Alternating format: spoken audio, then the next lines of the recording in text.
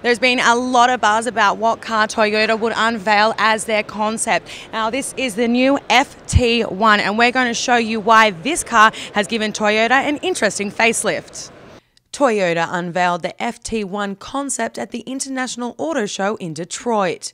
The room buzz at their new futuristic sports car shared the essence of the legendary Supra.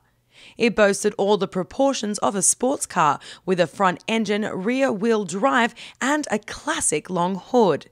This sports car seems destined to hit the roads in the future, and if it does, it could radically shift Toyota's image. Okay, there has been a lot of buzz about Toyota's new concept. You guys were very tight lipped. It was really hard to get any details before it was unveiled just now as the FT1. But how does it capture the spirit of the Supra? Well, I don't know if it captures necessarily the spirit of the Supra. I mean, a lot of people have speculated the Supra, but really this car draws heavily on our sports car lineage that goes all the way back to the 60s and 2000 GT and Celica and Supra. This is the embodiment of the ultimate Toyota sports car expression. That's what FT1 is. Future Toyota, the number one for ultimate. So you weren't at all inspired by the Supra with this model?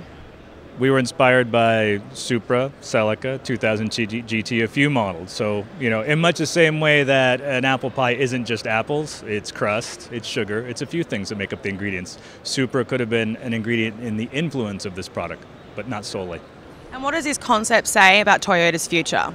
This concept makes a statement about Toyota's future design direction in the sense that this, this is part of uh, Akio Toyoda's mission to, to inject more passion and excitement into our exterior design. This is a, a, a purely passionate, purely emotional sports car concept, which is one of the better places to make those kind of expressions. So hopefully uh, consumers will interpret this as a place that we're going and uh, it will feature cues and some ideology and design that we'll see on future products.